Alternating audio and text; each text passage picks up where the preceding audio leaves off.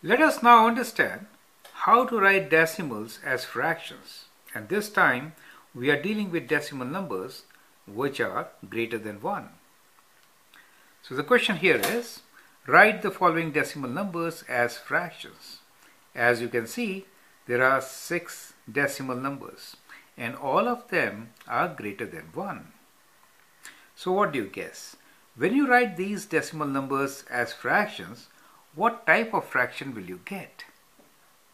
Well, you are going to get mixed numbers because we have a whole number and a decimal number. So that will give us a mixed number. Let us see how to write these decimal numbers as fractions.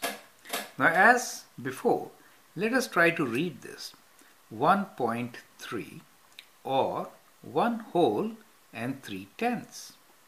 1 whole that means 1 whole and 3 tenths. 3 out of 10.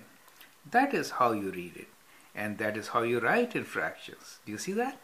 So 1.3 can be written as 1 whole 3 tenths in fractions. How about 2.4?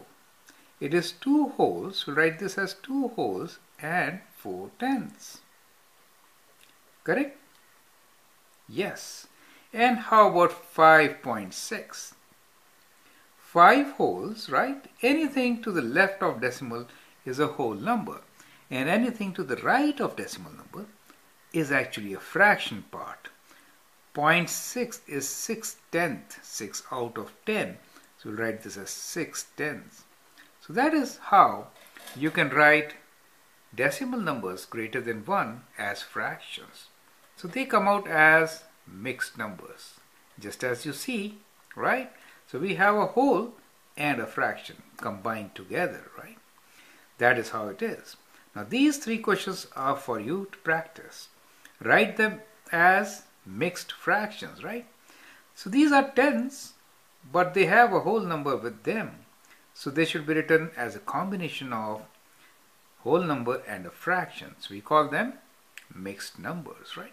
So practice with these three, which is 1.7, 2.2, and 3.8. I hope you're enjoying and you have got all the concepts. Thank you.